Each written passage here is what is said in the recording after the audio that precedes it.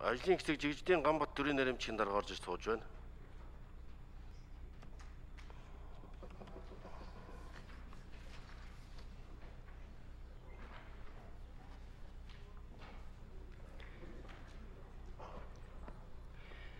Улсын хурлын дарга эрхэм гишүүдээ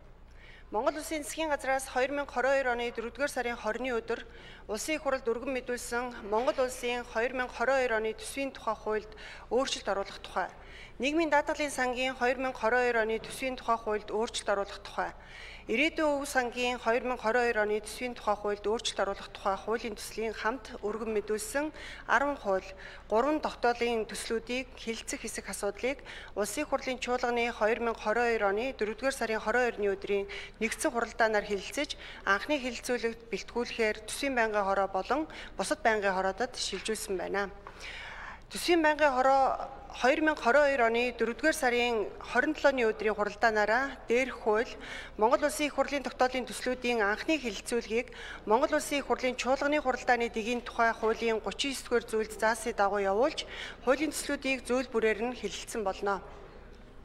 Төсвийн байнгын орооны 2022 оны 4-р сарын 22-ны өдрийн 2-р тогтоолоор Монгол Улсын 2022 оны төсвийн тухай хуульд өөрчлөлт оруулах тухай, нийгмийн даатгалын сангийн 2022 оны төсвийн тухай хуульд өөрчлөлт оруулах тухай, ирээдүйн өв сангийн 2022 оны төсвийн тухай хуульд өөрчлөлт оруулах тухай хуулийн төсөл болон хамт өргөн мэдүүлсэн хууль, тогтоолын төслүүдийг хэлэлцүүлэгт бэлтгэх үүрэг бүхий ажлын хэсгийг байгуулсан тус ажлын хэсгээс хууль тогтоолын төслүүдийн талаар зарчмын зөрүүтэй санал гаргасан бөгөөд бөгөөд зарчмын зөрүүтэй санал тус бүрээр санал хураалгаж шийдвэрлэлээ.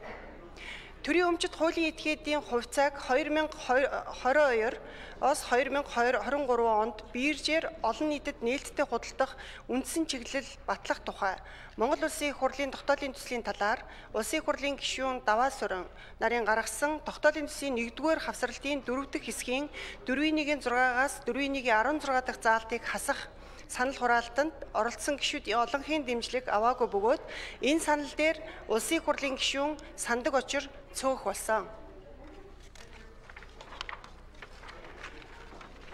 Улсын хурлын холбогдох байнгын хороод эрхлэх асуудлынхаа хүрээнд хамаарах хуулийн төслийг хилэлцэн санал, дүгнэлт, зарчмын зөрүүтэй саналын томьёоллоо төсвийн байнгын хороонд ирүүлсэн.